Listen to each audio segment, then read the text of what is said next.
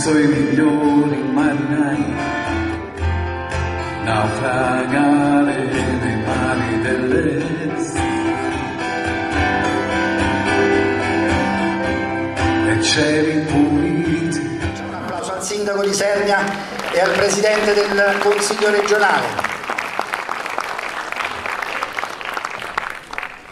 Sindaco, una giornata importante per eh, festeggiare la presentazione di un libro importante, di un uomo importante, Franco Valente.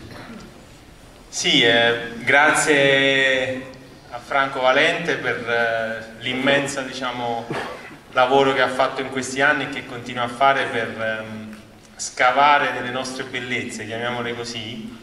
Eh, credo che sia uno dei testimoni eh, di, di, quanta storia e quanto passato glorioso in alcuni casi eh, nascondano le nostre terre e un testimone che da parte delle istituzioni tutte, comune, regione, provincia e così via, va ringraziato per, per, per il lavoro fatto, per la passione. Poi eh, la cosa bella di questi lavori è che dietro c'è una grandissima passione e la passione di un uomo che si dedica con eh, la voglia, la fatica, la cultura che ha eh, a ridare eh, alla propria terra.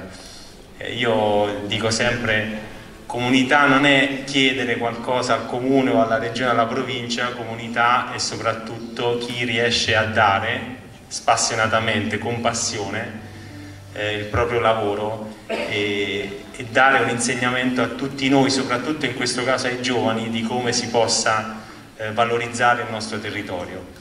Eh, è uno stimolo per noi amministratori eh, per promuoverlo ancora di più eh, per capire quanto queste terre siano state, eh, ehm, siano state in grado di ospitare delle eccellenze eh, e quindi il ringraziamento credo vada da, da, parte non solo della città di Sernia ma di tutta la regione, di tutti i cittadini molisani ma anche credo, eh, posso dirlo con, eh, con, veramente con serenità e con umiltà da parte del mondo della cultura per, questi, per il suo impegno quindi un grazie al maestro, chiamiamolo maestro in questo caso.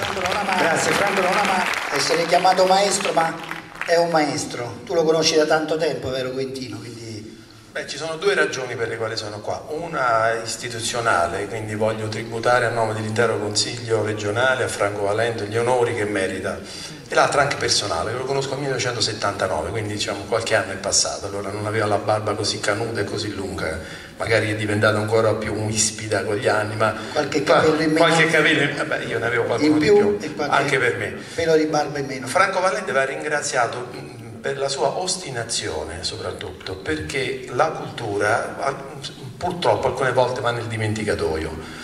E quindi Franco Valente rinnova e rigenera la sua cultura e la trasmette a tutti quanti noi. Quindi il lavoro che fa è incommiabile, io lo voglio veramente ringraziare perché Franco Valente non è un vincitore, Franco Valente è un vincente, perché non ha vinto una sola volta, continua a vincere, quindi per vincere, per quindi essere un vincente vuol dire che Franco Valente ci mette quotidianamente l'impegno, che non si raggiungono dei risultati come quelli che ha raggiunto Franco Valente, sono con l'impegno quotidiano. È vero che anche la materia prima, Cassessa Vincenzo, che insomma in qualche maniera può stimolarlo e quindi fare raggiungere questi risultati, ma li raggiunge grazie a un impegno che va sostenuto, come diceva poc'anzi il sindaco, non solo con la presenza delle istituzioni, ma anche con una partecipazione attiva.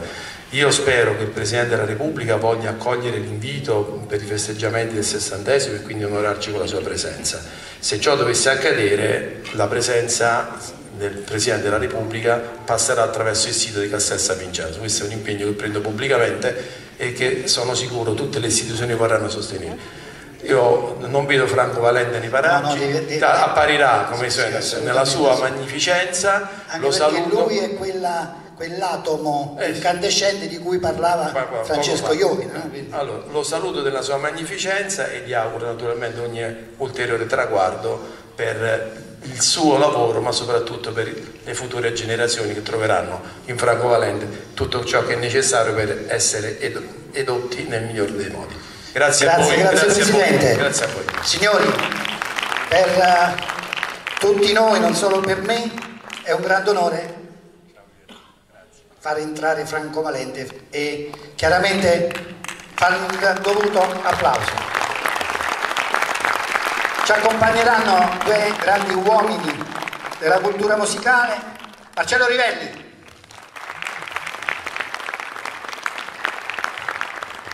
Rino Rufo.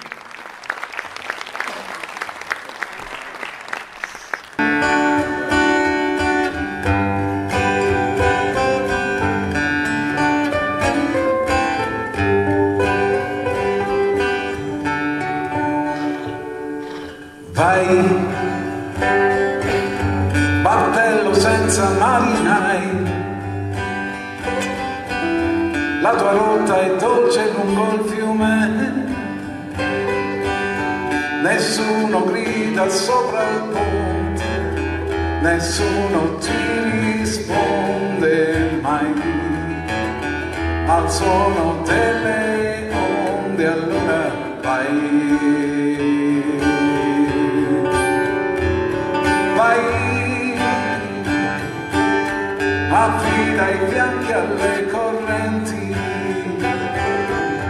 e le tue vele quattro venti come un pensiero volai, una parola sola ti dico, vai senza pazienza aurora, vai, battello senza marinai.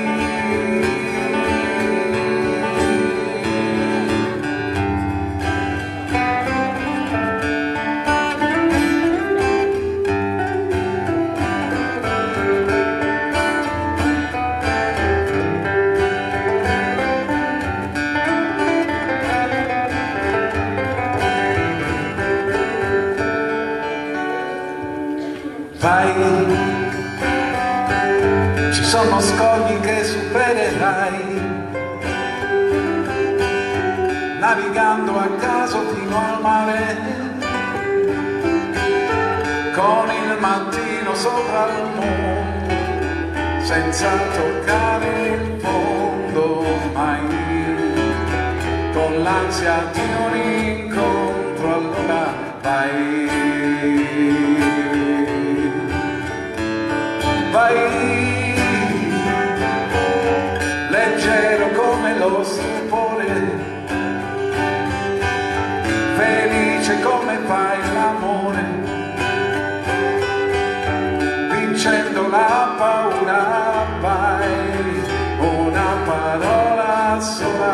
dico vai senza alba senza aurora vai battello senza marina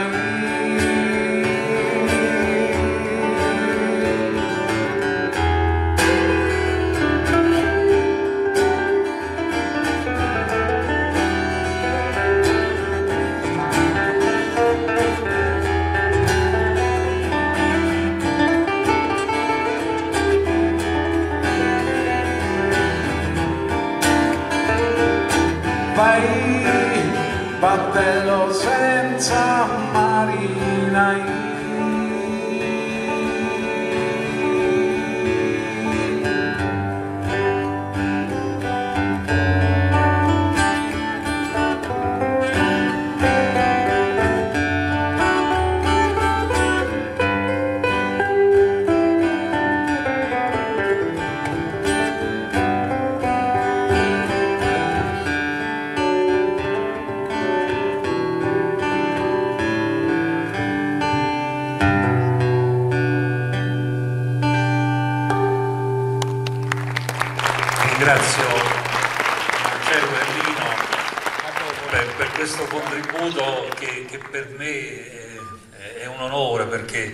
Marcello è di Rocchetta Volturno, Lino è di Castelvolturno, quindi stiamo parlando di persone che hanno fatto la storia musicale del nostro territorio. Ma avremo modo poi nel, nel futuro di... Guardando questo volume, vi, vi, confesso che il momento drammatico è quello di scrivere le dediche sul, sui libri, perché si crea una sorta di cancellazione, di rimozione di tutte le, le, le figure di amici, amici fraterni, che se non mi dicono chi sono difficilmente riesco a scrivere la dedica.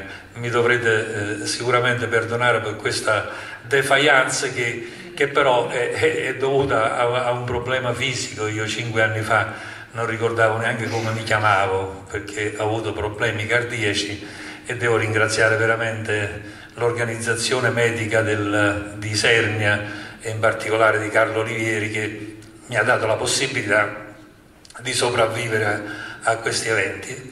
Per cui eh, ecco, i racconti oggi sono un ripescaggio nella memoria di fatti che eh, appartenevano a un passato, un passato spesso remoto e che invece si vivifica andando a leggere i documenti, mandandoli a leggere in una maniera un poco diversa. Eh, molti sostengono che io scrivo soltanto fesserie, ma ovviamente spero che chi dice questo perlomeno provi a leggere le cose che ho scritto e, e soprattutto stasera cercherò di dimostrare che la Valle del Volturno, ma San Vincenzo Volturno, è stato sempre al centro di interessi internazionali.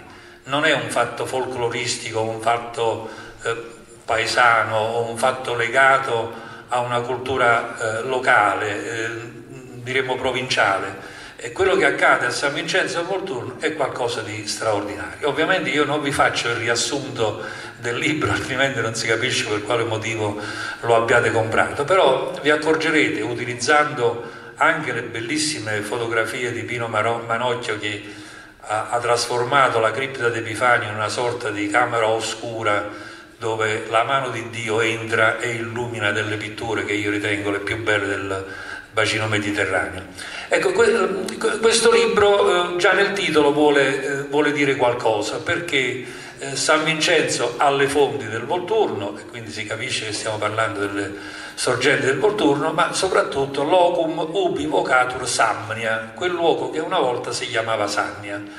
Su questa questione sembrerebbe così parlare di una cosa piuttosto banale e, e non so, ecco, quando comincerete a alzare la mano e dire eh, chiudi l'argomento, io lo farò eh, rapidamente, però senza non senza aver detto che nel 503 a San Vincenzo Volturno si insedia un vescovo, Marcus Samninus, che nel 503 partecipa a un concilio di Simmaco.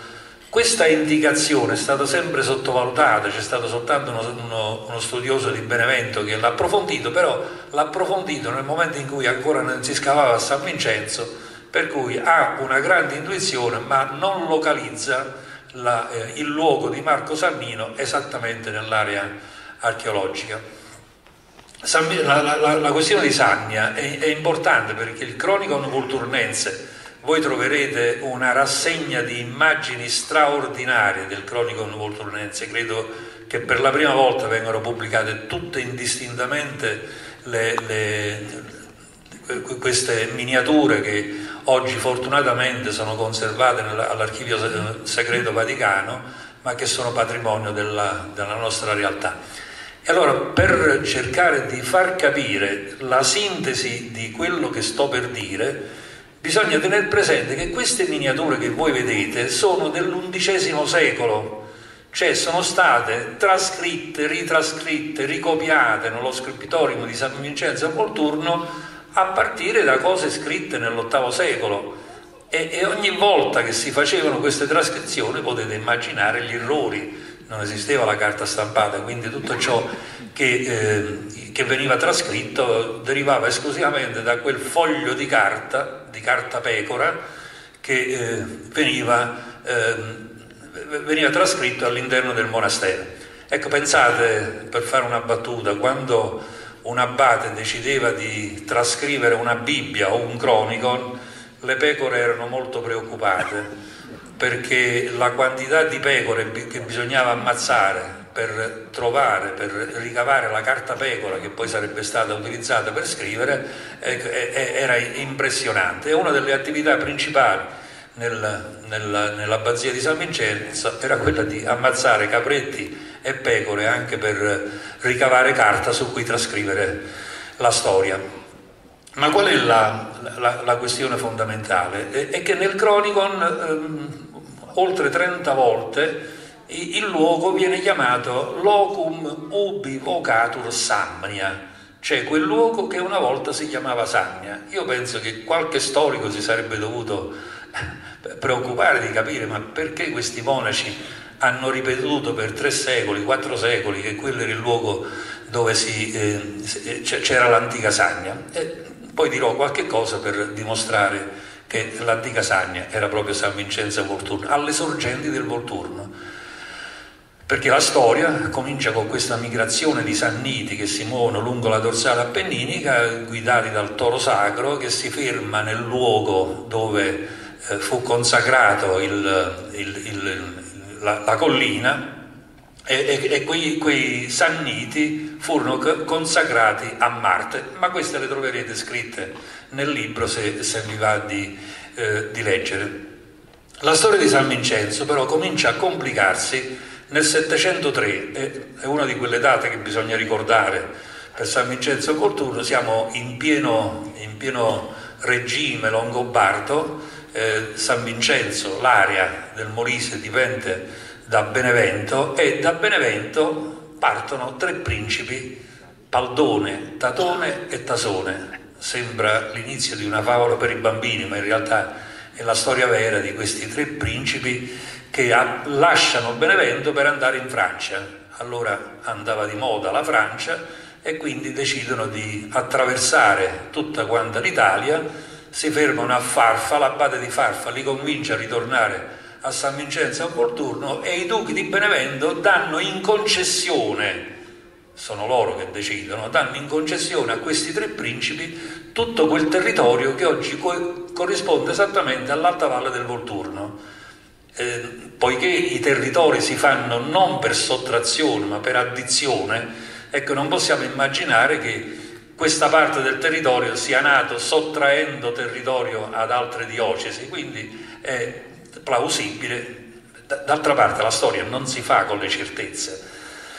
Noi abbiamo avuto il più grande storico del, del, del, del Sagno, che, che Ciarlante, Vincenzo Ciarlanti nel 1644 scrive un'opera straordinaria che da allora a oggi viene copiata sistematicamente senza che nessuno aggiunga nulla alle cose da lui scoperte, peraltro a Monte Cassino, perché il, la, la, cronaca di, di, di, di, Ciarlante è stata scritta nel, nell'abbazia di Monte Cassino. Ecco, questa, questa storia oggi va rivista, ma non perché è cambiata la storia, ma perché viene cambiata l'interpretazione della storia. Io sono un eh, fedele seguace di, di Giordano Bruno. Giordano Bruno scrisse una frase che, che, ha, che ha, insospettito molte persone, eh, cioè parlava degli infiniti universi, eh, ma Giordano Bruno sapeva benissimo che l'universo era uno solo, sono infiniti i punti di osservazione dell'universo. È chiaro che ognuno di voi in questo momento, momento mentre io sto parlando, sta a pensare o, o a una cambiare scaduta o che, che, stasera deve cucinare o che, che c'è un familiare con, con, la febbre e quindi ognuno di, di, voi, di noi riceve dalle informazioni che vengono date da una chiacchierata delle, eh, de, delle precisazioni che sono fortemente condizionate dallo stato fisico di chi riceve queste informazioni. Io conto su, questa, su questo modo di, di vedere le cose. Fatto sta che questi tre principi arrivano a San Vincenzo a Volturno e eh, cominciano a fondare questo monastero di cui non si sa nulla. Noi dobbiamo tornare al 1982 quando a Venafro fu fatto il primo convegno internazionale sull'eccidio saraceno, sulla, sull'eccidio di San Vincenzo a Volturno e in quell'occasione cominciarono a venire fuori i primi elementi che Richard Hodges aveva scoperto a San Vincenzo a Volturno. Richard Dodges di mestiere fa l'archeologo, non si occupa di interpretazione della storia, però è stato fondamentale la sua scoperta perché ha permesso di capire che San Vincenzo al Volturno sono due, anzi sono tre. C'è un San Vincenzo al Volturno, e lo vedrete nelle piantine riportate nel, nel, nel, nel libro, c'è un San Vincenzo l'originale, il primo, quello di Paldone, Tatone e Tasone. Poi c'è un San Vincenzo fatto dall'abate Giosuè, che era, ecco, cominciamo a vedere questi personaggi che, che non dicono niente, ma insomma Giosuè aveva una sorella che aveva sposato Ludovico il Pio. Ludovico il Pio era figlio di Carlo Magno, Carlo Magno era figlio di Pipino il Breve. Quindi questi tre personaggi bisogna sempre tenere presente per capire che cosa succede a San Vincenzo a Volturno. Ovviamente un, un imperatore che ha un cognato abate credo che faccia di tutto per donare a questa abbazia una quantità di benefici che poi costituiranno la base dell'organizzazione monastica del orare, eh, pregare e lavorare, che è la città monastica di, di San Vincenzo. Ecco, ah, mm, il, il, il, questa, questa basilica di cui a un certo punto si perdono le tracce perché nell'881 arrivano i saraceni Nungendorum Monacorum Decollatorum che eh, tagliano la testa a 900 monaci 500 una versione, 900 un'altra, ma comunque non erano pochi, che eh, furono decollati su iniziativa no, no, non dei saraceni, ma su iniziativa di, eh, di, di un vescovo eh, di Napoli, Attanasio II, il quale aveva, bizantino, aveva individuato un percorso politico secondo cui per diventare papa, egli voleva diventare papa, avrebbe dovuto prima di tutto distruggere i benedettini. E quindi comincia una politica di efferata nei, nei confronti di, di, questi monaci che vengono sistematicamente ammazzati a Monte Cassino, nel territorio di, di, di Sernia, nel territorio eh, di, Venafro. Pensate alla, agli scacchi di Venafro. Gli scacchi di Venafro sono stati trovati in una tomba di un saraceno che era morto mentre aspettava di conquistare San Vincenzo Volturno. Ecco, que- queste cose sono importanti perché fanno intendere che a San Vincenzo si cominciava a ragionare in termini diversi. Io ho il sospetto che in un certo momento della storia di San Vincenzo Volturno compaia un altro personaggio, non vi impaurite per i nomi perché potreste andare in crisi, però sono nomi che fanno effetto, Cosma Indicopleuste, il quale era un, eh, era un viaggiatore, Indicopleuste, viaggiatore delle Indie, il quale sul Sinai scrive un trattato sulla, sulla, su, su, come è fatto il, l'universo. Tenete presente le scatolette sperlari, una delle immagini è passata davanti a voi, le scatolette sperlari. Immaginate che l'universo fosse come una scatoletta di, di, diciamo di metallo, di, di, di spirito poi in effetti, all'interno della quale esiste Gerusalemme, le montagne di Gerusalemme, ma soprattutto c'è una, una specie di tenda, quando sentite la parola la tenda cosmica, è che è una tenda che è assimilabile alla tenda di Mosè, proprio questa è la definizione che viene data da Cosmo Indico Pleuste, per cui eh, egli ritiene che eh, questo sia l'elemento fondamentale per capire come si debba interpretare l'universo. Noi stiamo parlando di cose semplici, cose che che appartengono alla storia teologica, ma che comunque per noi cristiani sono fondamentali. Eh, I sacerdoti di questo eh, vivono, raccontando questi elementi. Ecco, Cosme Anticopleste molto probabilmente eh, scrive questa, questa storia, questa è una delle tante edizioni, che finisce a Roma. Finisce a Roma probabilmente alla corte di Stefano II, altri nomi che sono, eh, ve li potete pure dimenticare immediatamente, però Stefano II era un intrallazzone, era colui che si mette d'accordo con Pipino il Breve per eh, scrivere un falso, una falsa donazione di Costantino che è imperniata su un ragionamento che noi troviamo scritto nel Cronico Novulturrense e di cui dirò qualche parola, sempre se riuscite a resistere, stiamo ancora alle, alle fasi preliminari. Ecco, il Cosma Indicopleust immagina che l'universo sia identico alla cripta d'Epifanio. Non solo, ma eh, fa, fa, eh, descrive anche Mosè che riceve il libro delle verità da, da Dio perché Mosè è l'unico personaggio umano che ha parlato con Dio. Non esiste altro personaggio nella storia della cristianità che abbia avuto la possibilità di parlare con Dio. Per cui tutto ciò che Dio ha detto a Mosè, eh, ovviamente è un racconto di prima mano che ha un'importanza straordinaria.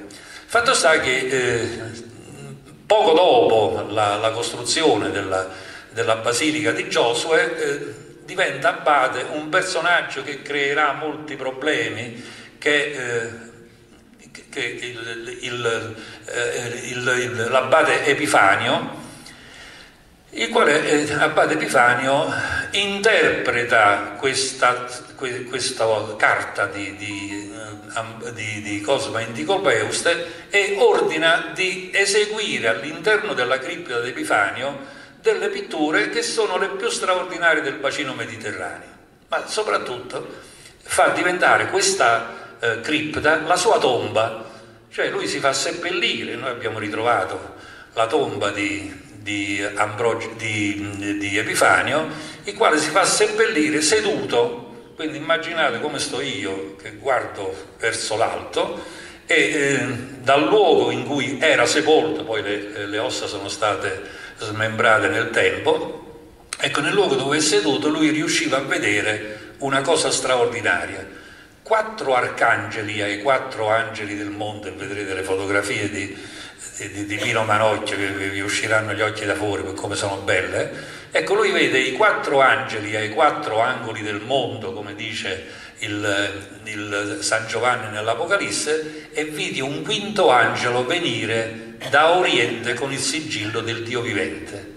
Quindi lui sta di fronte, ha la cripta eh, intera che riesce a vedere da quel punto, con, traguardando a destra e a sinistra, ma soprattutto di fronte a questa scenografia apocalittica degli angeli. Gli angeli non li ha mai visti nessuno. E gli angeli eh, noi li conosciamo per le descrizioni fatte dai cosiddetti profeti. Nessuno ha visto un angelo e noi ci dobbiamo fidare delle descrizioni dei profeti se vogliamo dare significato a queste figure. Ma noi andiamo un poco oltre perché al centro del bacino della, della cripta di Epifanio, eh, Epifanio guarda verso l'alto, quindi si appoggia con la testa dietro e vede la Madonna assunta in cielo. È la prima volta nella storia della cristianità che una Madonna, siamo nel, nell'840 grosso modo, che una Madonna viene rappresentata all'interno di una sfera un fatto rivoluzionario, no? è, è, è, come, come, mettere una, una, una, una, donna che non c'entra niente con, con, con, i racconti evangelici all'interno di una chiesa. Ecco, eh, noi eh, apprezziamo l'importanza di questa, di questa Madonna perché nel 2012, quindi dieci anni fa, Papa Ratzinger, che è un Papa molto antipatico per molti versi, però sappiamo tutto, tutti che è uno dei più grandi teologi della cristianità del secolo scorso e, e di questo secolo. Ecco, il Papa Ratzinger fa una omelia nel Vaticano a 2000 tedeschi, lo sapete i tedeschi quando stanno a sentire registrano tutto quello che, che gli viene detto e gli dice voi non sapete che il primo teologo della cristianità che ha affermato che la Madonna è stata assunta in cielo con tutto il corpo, con tutti i vestiti, con gli orecchini, con le, con le scarpe, è Ambrogio Autoperto alle sorgenti del Volturno. In un'altra realtà, la regione Molise avrebbe dovuto organizzare decine di pullman per far venire eh, eh l'opera romana Pellegrinacci, perché veramente è una cosa unica al mondo la risposta invece è che viene interdetto l'uso della cripta a tutti quanti, la sovrintendenza con un'operazione che io chiamo, ritengo discutibile, ha stabilito che in una giornata non possono entrare più di 12 persone nella cripta, non possono eh, entrare più di due persone alla volta, per cui se dall'America arriva un gruppo di 13 persone, eh, il tredicesimo se ne torna in America senza aver visto niente sono cose allucinanti, ma soprattutto c'è questa ingerenza dello Stato italiano nei confronti di chi eh, è, il vero proprietario di quest'area, di chi è l'area di San Vincenzo a Volturno. Questo lo, cerco di chiarirle nella, nelle premesse e nella parte finale. Ecco, l'area di San Vincenzo a Portone è di proprietà della regione Molise. La regione Molise ha speso oltre un miliardo e mezzo per acquistare tutti i terreni, quindi sono di proprietà della regione, non si discute, e, ma soprattutto la eh, regione stabilì che questi terreni dovevano essere destinati ad attività culturali. Eh, Gino Di Bartolomeo, che è l'autore di questa grande impresa, stiamo parlando degli inizi del 90, eh, lui disse io voglio vedere, parlando con l'abate di Montecassini, io qua voglio vedere decine di giovani molisani scavare e ricavare un reddito dal patrimonio che io adesso farò mettere a disposizione della, della, regione Molise. Non è accaduto niente di tutto questo perché noi ci troviamo di fronte a un, a un io li chiamo i boiardi dello Stato, cioè sono quelli dell'ultima fase del governo borbonico, no? quelli che dicono qua comando io e tu devi fare quello che dico io. Ovviamente eh, ciò determina un, un, una, una, una, grossa eh, contestazione che eh, Francesco Roberti, presidente della giunta regionale, oggi spera di poter dirimere attraverso la nomina di un conservatore nella mia persona e, e ovviamente spera che io possa in qualche modo aiutare a riportare alla regione Molise la proprietà di quest'area. Che cosa succede? Che la cripta d'Epifanio nell'881, quando arrivano i saraceni, eh, i, i, saraceni distruggono, non è che, che avevano molti interessi per, per, per, le bellezze paesaggistiche e per eh, i beni eh, archeologici nel 10 ottobre 881 crolla la chiesa di Santa Maria in Insula e il, la cripta rimane sigillata, rimane sottoterra. Per 1200 anni di questa cripta non se ne sa niente. Cioè la storia del mondo continua a parlare di arte e di architettura, ma della cripta d'Epifania nessuno sa niente. Nell'840, grosso modo, accade che la cripta di Epifanio viene acquistata a seguito di una vendita eh, immobiliare dello Stato italiano, viene acquistata dal duca Catemario, il quale duca Catemario di Quadri, prima di morire per guadagnare forse una fetta di paradiso, eh, decide di donare tutto il cespite di San Vincenzo a Volturno all'abbate di Montecassino, alla congregazione dei monaci di Montecassino. Per cui Monte Cassino, l'abate di Monte Cassino, è custode di Monte Cassino perché è di proprietà dello Stato italiano, ma è proprietario legittimo della cripta d'Epifanio e di tutto ciò che, che vi è eh, attorno. E questo è lo stato dell'arte, però quando sono state scoperte queste pitture eh, sono cominciate le interpretazioni, una quantità di filosofi eh, che, che, hanno cominciato a scrivere una quantità enorme di, di, cose interessanti, però nessuno ha colto il significato profondo, cioè che questa cripta non era finalizzata a raccontare la bellezza dell'universo, ma era finalizzata a mettere Epifanio nelle, nelle condizioni di essere il primo al momento della fine del mondo, nel momento in cui sta per scendere alla Gerusalemme celeste e la Madonna assunta in cielo. Queste pitture eh, so, so, sono bellissime, hanno, e, e fortunatamente sono conservate pure abbastanza bene. Molto probabilmente si deve all'abate Ilario, Ilario da Matera, se queste pitture ancora venivano conosciute nel, nel X secolo, nel, nell'epoca normanna, tant'è vero che a Matera c'è, ho pubblicato le, le immagini, c'è una cripta analoga a quella di San Vincenzo a Volturno, molto più banale, che ha semplicemente delle cose di San Vincenzo e i papaveri di Matera.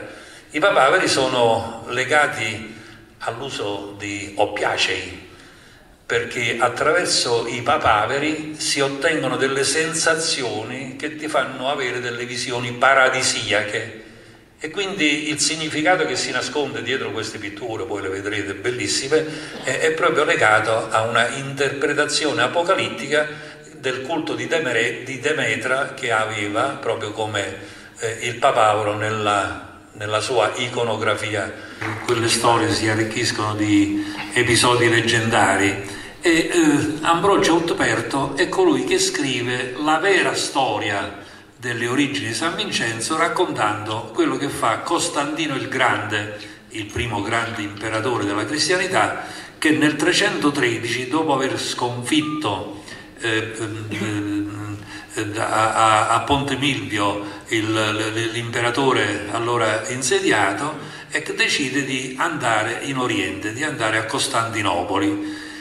In quel periodo in cui eh, Ambrogio Aperto racconta il fatto, per andare a Costantinopoli non si poteva prendere l'Appia perché era interrata e quindi eh, inventa Ambrogio un percorso diverso, decide di attraversare la valle del Volturno eh, insieme al suo esercito e, e, e quando arriva nel maggio del inventando ovviamente, del 313 a, a San Vincenzo a Volturno, preso dal tepore della giornata, si addormenta davanti all'esercito. Ovviamente se voi sognate non succede niente, ma se sogna un imperatore credo che, che vi sia qualche conseguenza. Allora lui nel sogno, e lo racconterà poi ai presenti, sogna tre santi, San Lorenzo, Santo Stefano e San Vincenzo di Saragozza Santo Stefano era il santo di Gerusalemme, Santo Stefano era il santo di, di, il santo di Gerusalemme, eh, San Lorenzo è il santo di Roma, eh, San Vincenzo di Saragozza è il santo della Spagna.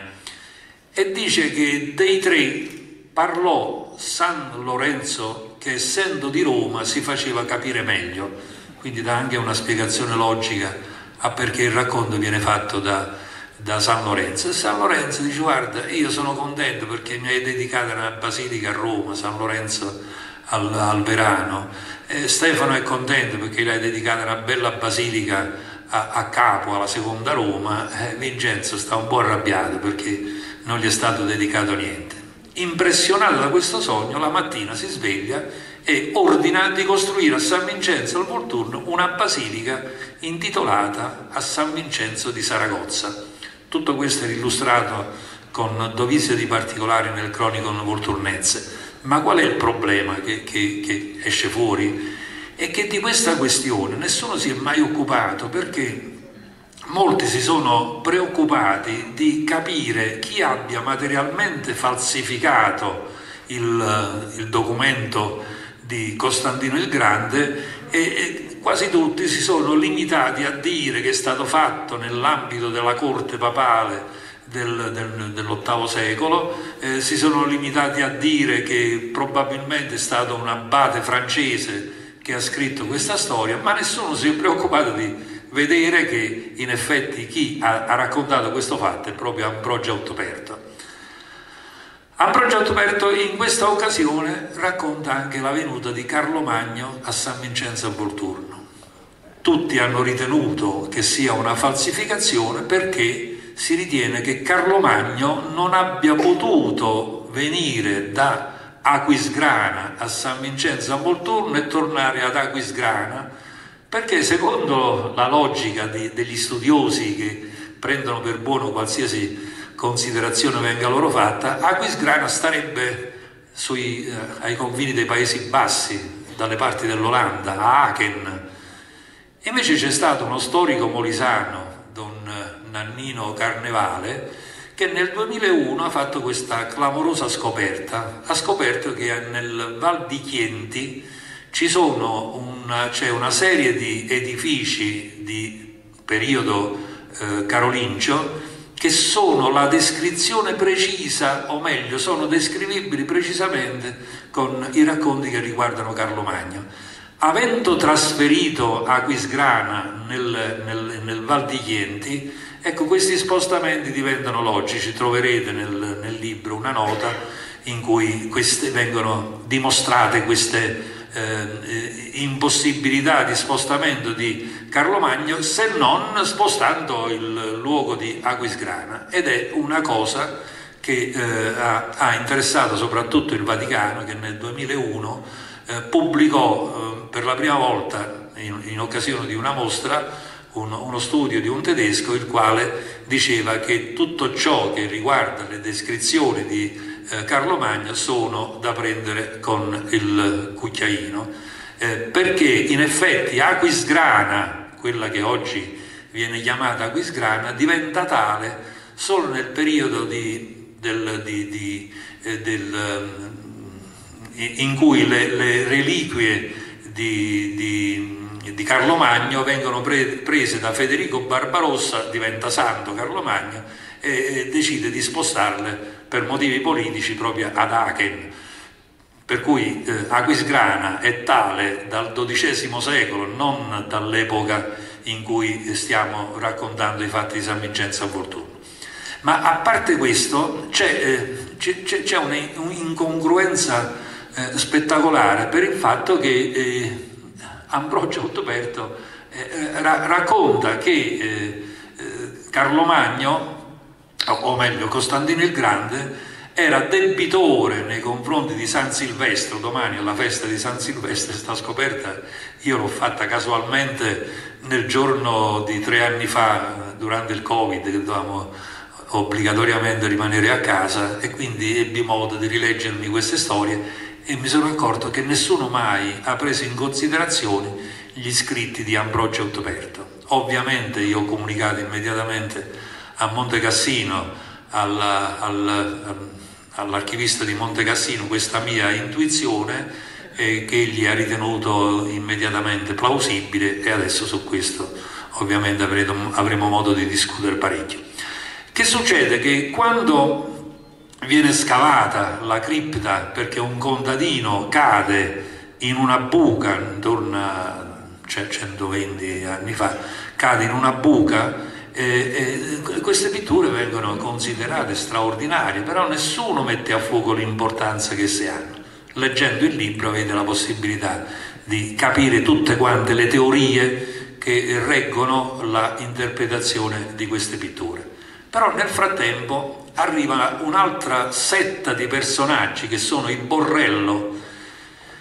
I Borrello nel cronico novulturnense vengono definiti sacrilegi raptores, rapitori eh, sacrilegi peggiori dei saraceni. Ecco, voi immaginate a Monte Cassino quale considerazione avessero dei nostri amici i Borrello di, di, di, di Pietrabondante. Ecco, è in questo momento che i, i Borrello si eh, appropriano, approfittano del fatto che i monaci hanno abbandonato San Vincenzo a Volturno, tutto era crollato, approfittano di questo fatto e realizzano una prima eh, struttura militare importantissima, quella che voi vedete, credo che tutti siate stati a San Vincenzo a Volturno, c'è un campanile enorme e quattro torri ai quattro angoli, una di queste torri è il palazzo cosiddetto abbaziale.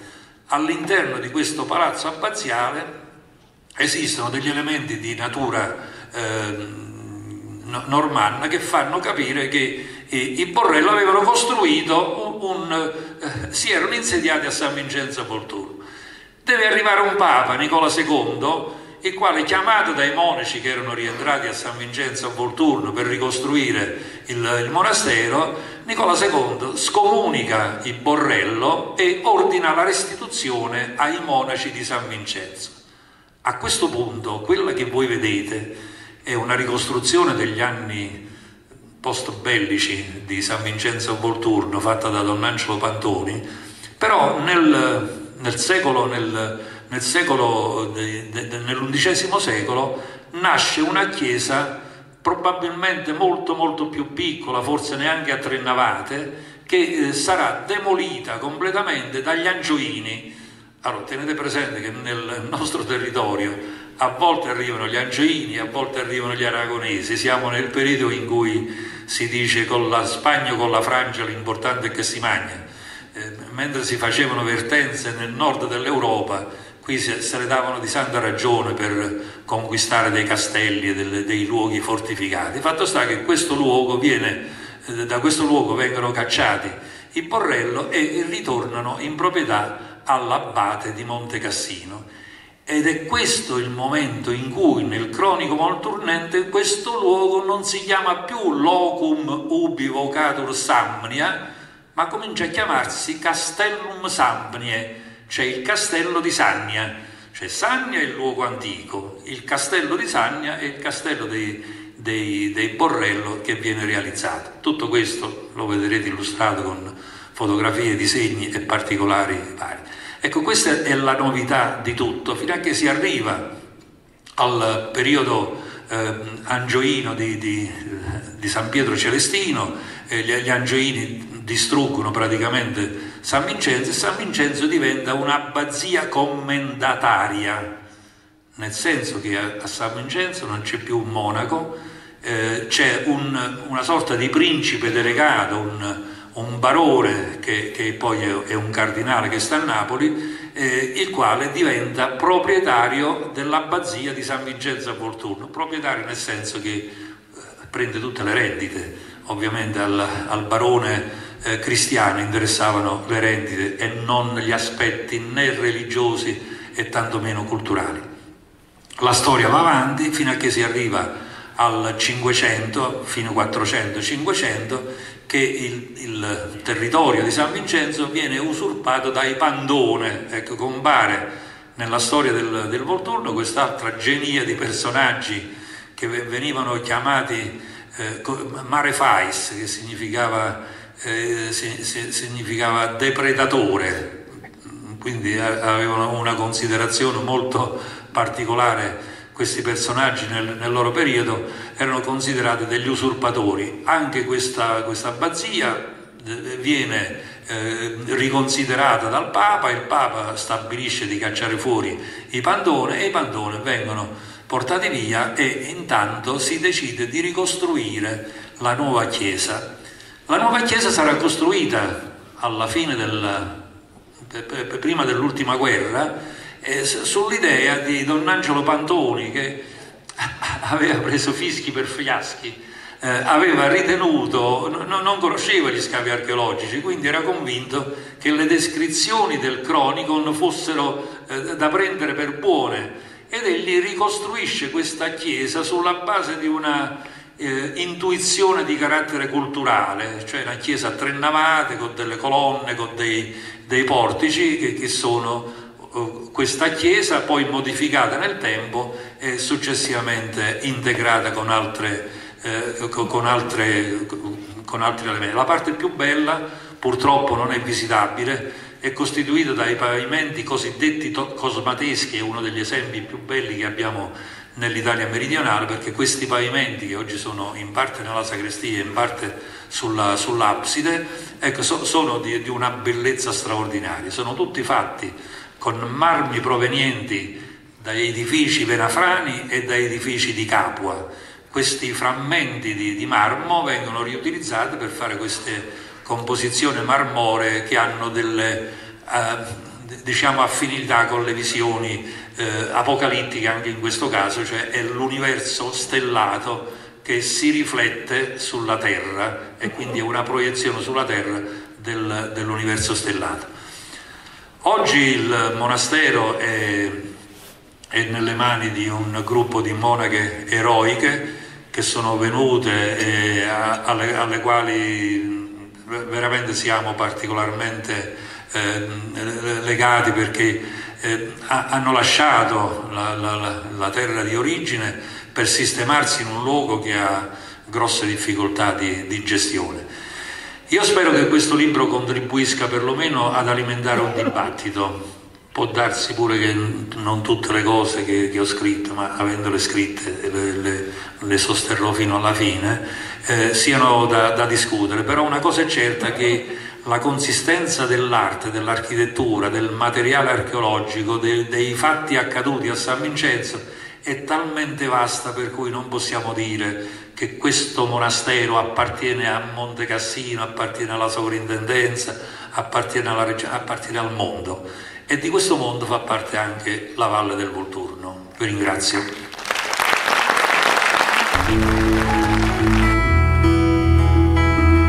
Ma che bufera stasera pazzia, che strana euforia negli occhi e nel cuore che balza su e giù, mi piacerebbe dormire o soltanto scoprire che tutto era un sogno e non realtà, ma se mi sveglio davvero io sono prigioniero di qualcosa che neanche so. Sono momenti della vita che vanno e vengono per tutti noi. Se un giorno non ti gira bene, aspetta un attimo e vedrai. Sono costanti nei pensieri, nei gesti in ogni banalità. Ma è anche vero tutto il contrario, all'improvviso la felicità.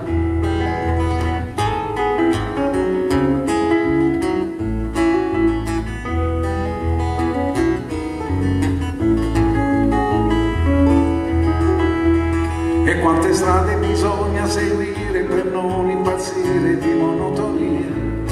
E quanti orpelli nei nostri capelli per non ammazzare la fantasia. Mi sento spesso diverso da questo, da quello che incontro per strada ogni giorno. Ma puntualmente mi trovo normale più di ogni animale che mi gira intorno.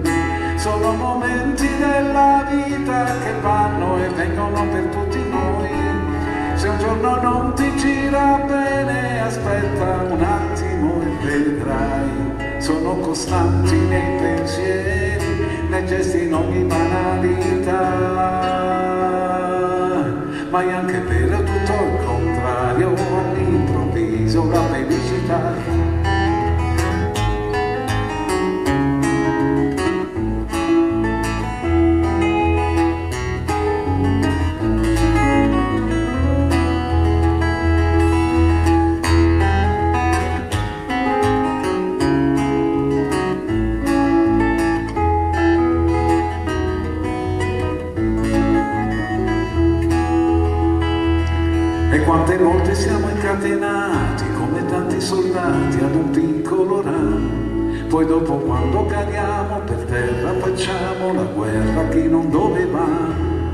E andiamo avanti costruendo bugie, alimentando manie nella nostra mente. Ci lamentiamo che il mondo lo amiamo, ma lui di noi non gliene frega niente. Sono momenti della vita che vanno e vengono per tutti noi. Se un giorno non ti gira bene, aspetta un attimo e vedrai. Sono costanti nei pensieri, gesti in ogni banalità. Ma è anche vero tutto il contrario, all'improvviso la felicità.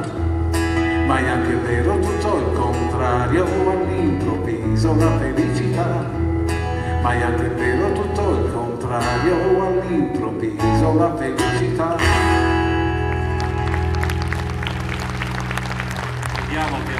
Gli auguri per il nuovo anno. Franco Valente.